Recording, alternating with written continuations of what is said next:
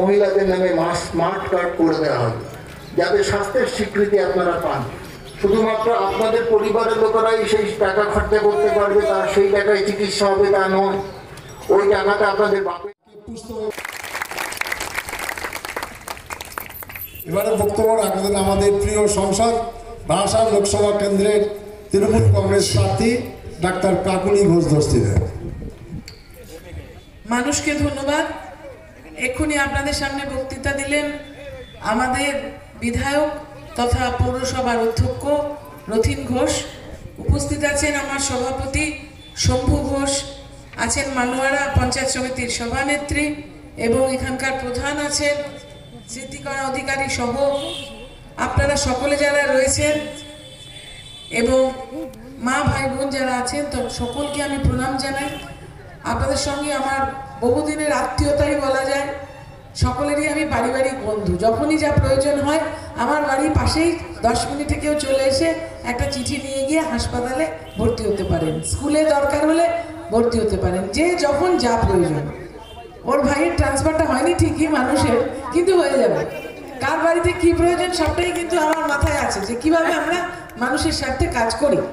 দশ বছর ধরে আমায় দেখছেন এবং দশ বছর ধরে আপনাদের জন্যই পরিশ্রম করে চলেছি। আর দুজন বাজারে এসছে, বাকি কারা এসছে আমি ঠিক জানি না, নামও জানি না। দুজন এসছে, তাদেরও নাম জানি না। একটা কি হরিদাস না কি জানি, কোথায় থাকে, এদিকে থাকে না। ওই দূরের দিকে থাকে বহিরাগত। আর আর একজন আছেন ওই রথিনদা বললেন না যে, হরিদাসের সিংহ, মানুষের মঙ্গলে সিংহকে পাঠাতে হবে জঙ্গলে। এইটা মাথায় রাখবেন, জঙ্গল শহর নয়। এখানে কিন্তু আমরা থাকি, মানুষের কাজ করি, মানুষের স্বার্থে সারা বছর মানুষের পাশে।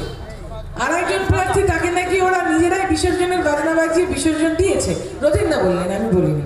উনি জীবনে ভোট দেননি। নির্বাচন কি জিনিস জানেন না। নির্বাচন অনেক স্তরে, আপনারা ওনার চেয়ে বেশি জানেন।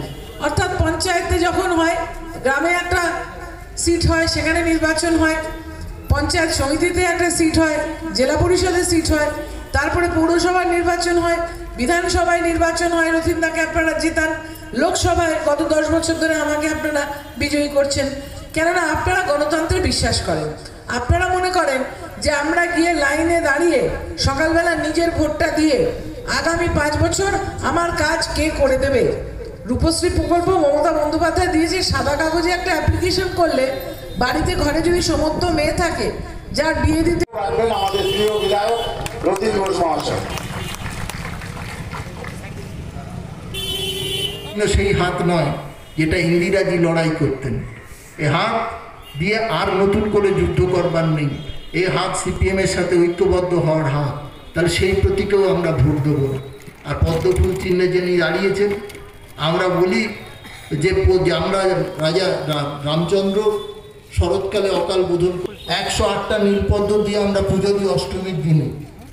রামচন্দ্রের সেই দুর্গা পুজোর পদ্ম আর এই পদ্মের মধ্যে ফারাক আছে। এই পদ্মের নিচে কাঁটা সেই প্রতিমা বিসর্জন হবে তা সেই তাই সেই কারণের জন্য। আমরা কেমিয়া খাওয়া অঞ্চল তৃণমূল কংগ্রেস কমিটির পক্ষ থেকে ধন্যবাদ।